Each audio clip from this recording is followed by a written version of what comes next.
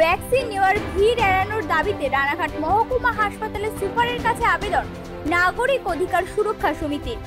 বর্তমান পরিস্থিতি অনুযায়ী বেশ কয়েকটি বিষয় নিয়ে আজ রানাঘাট মহকুমা হাসপাতালের সুপার ডাক্তার শ্যামল কুমার পোরের কাছে আবেদন করল রানাঘাট নাগরিক অধিকার সুরক্ষা সমিতি।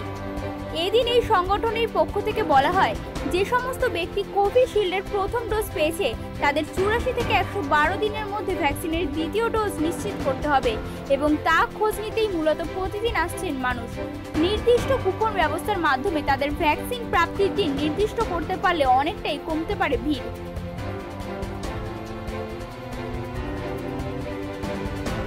প্রথমত রানাঘাট মহকুমা হাসপাতালে কোভিশিল্ড সেকেন্ড ডোজ, এটা নিয়ে প্রচুর একটা ঝামেলা তৈরি হয়েছে। ঝামেলাটা হচ্ছে এই রকম যাদের চুরাশি থেকে একশো বারো দিনের মধ্যে এই কোভিশিল্ড সেকেন্ড ডোজের ডেটটা পড়ছে, তারিখটা পড়ছে, তারা ওই চুরাশি দিনের বাদে এসে যেদিন ভ্যাকসিন থাকছে না, ঘুরে চলে যাচ্ছে, পরের দিনও পাবে কিনা তার নিশ্চয়তা নেই।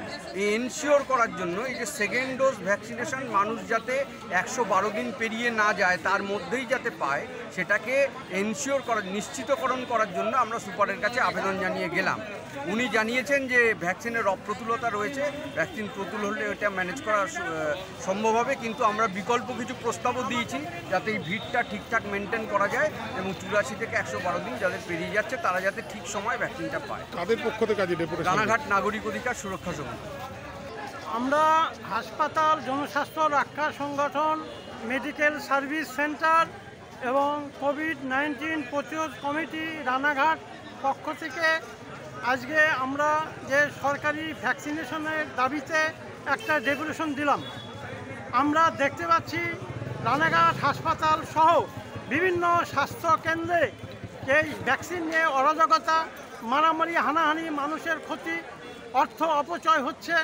আমরা তার বিরুদ্ধে একটা সুস্থ সমাধানের পথ বের করার জন্যে হাসপাতাল সুপারিনটেন্ডেন্টের কাছে আমাদের সৎ পরামর্শ রাখলাম। এবং এই অরাজকতার বিরুদ্ধে প্রতিবাদ জানালাম। আমরা এর সঙ্গে সঙ্গে আমরা হাসপাতালের যে পরিকাঠামো, তার উপযুক্ত পরিকাঠামো এবং প্রয়োজন মতো স্বাস্থ্যকর্মী, ডক্টর, নার্স ইত্যাদি আমরা দাবি রাখছি। আমরা দেখতে পাচ্ছি যে আদিম যুগ থেকে আজ পর্যন্ত স্বাস্থ্য নিয়ে মানুষের সঙ্গে ছেলেখেলা হচ্ছে। আমরা এই স্বাস্থ্য ব্যবস্থাকে প্রতিবাদ জানাচ্ছি। নাম বলুন আপনার? ডক্টর সত্যজিৎ রায়। নদিয়া থেকে মলয়দের রিপোর্ট টাইমস বাংলা।